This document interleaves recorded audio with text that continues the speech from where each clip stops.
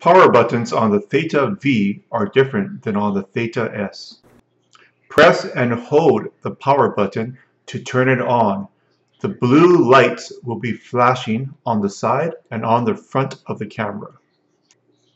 In daily use, people will use sleep mode and not boot the camera from a code power off state.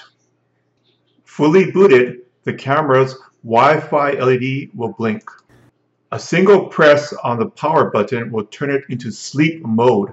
The camera is not off. Quickly pressing it one time will turn the camera on from sleep mode. Note the boot time is considerably different. Powering the camera off, you will see a flashing red light.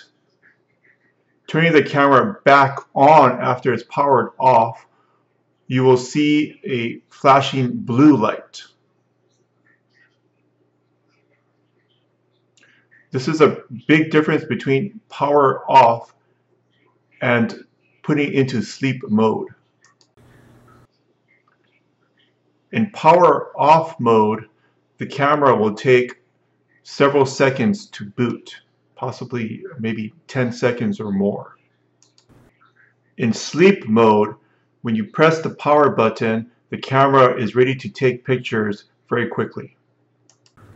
It's easy to use. It's just a little different than the Theta S. Have fun.